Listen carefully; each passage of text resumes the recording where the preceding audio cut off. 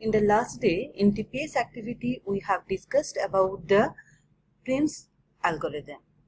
Now, today, in this video, we will learn how to find out the minimum spanning tree by using Prim's algorithm. So, we will find out a problem and solve that problem, how we can get the minimum spanning tree by using Prim's algorithm. What is minimum spanning tree?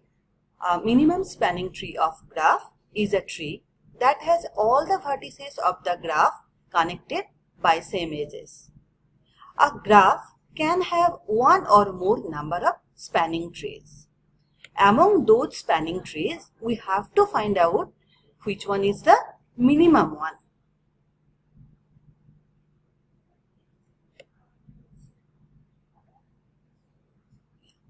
Before we start, I request all of you please take some paper and pen and solve this problem with me.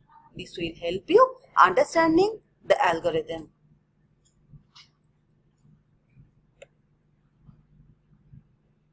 We consider this graph.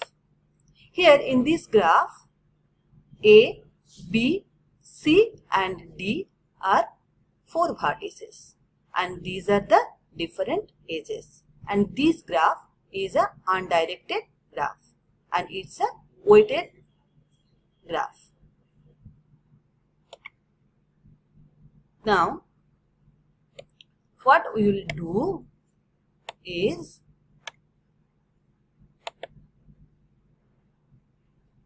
first we will remove all the parallel edges between two vertices except the one with the least weight and we remove the loops.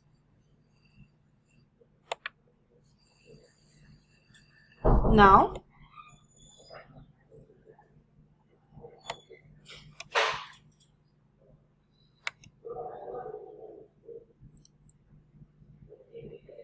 Now we are ready to find out the minimum spanning tree from this graph.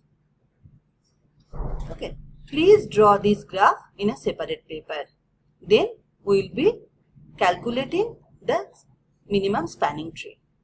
Now we will create a table. So here there are four vertices. So we will make a table with A, B, C, D as the column name and A, B, C, D as the row name and we will populate this table.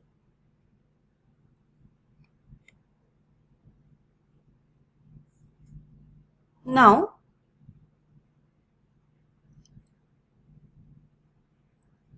uh, here this represents the DB edge and so on. Now, this node A is, this AA we put 0 because this is only connected between the same node. Similarly, we put 0 here, we put 0 here, we put 0 here. Now, A and B is connected with the edge with weight 5. Okay. And here A and C is connected with 10. Okay. So, which one is the minimum one? It's 5. Now, the active node will become A and B. Then we will check all the nodes and we will find out these weights and we will put these weights.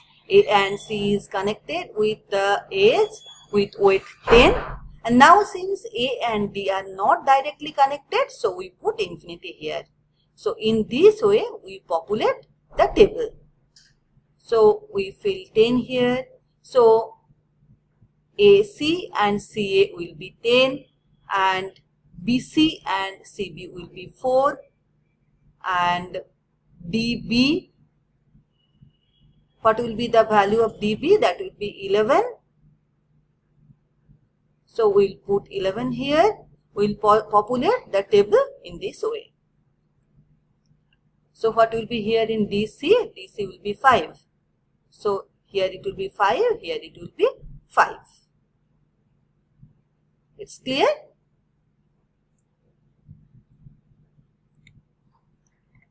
Next, the table is populated. Now, the starting node is A. So, we have to find out the minimum spanning tree from this graph. And you should keep in mind that this is an undirected weighted graph. Now, from this row, we will not consider 0. Okay. So, except 0, which one is the minimum one? So, minimum one is 5 here. So, 5 is the smallest value in this row. So, that's, that 5 means AB. So, we will connect A with B. We will mark here. So, this is, since this is undirected, so AB and BA will be same. We will put the same value here. We will mark these two positions. Then, these two A and B will be the active vertices. Then we have to find out which one will be the minimum one. So from this table we can find out that the minimum one is this 4. So next we will connect B to C. So now these active vertices will be A, B and C.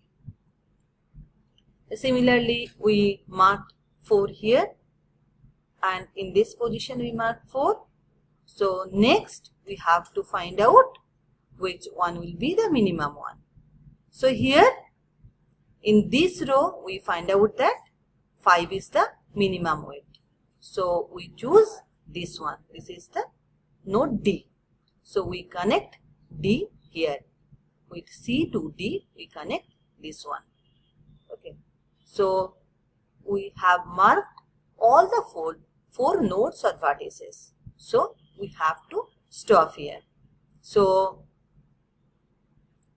we get the minimum spanning tree with edges 5, 4 and 5. So the total cost will be 14. So we get the minimum spanning tree by using Prim's algorithm.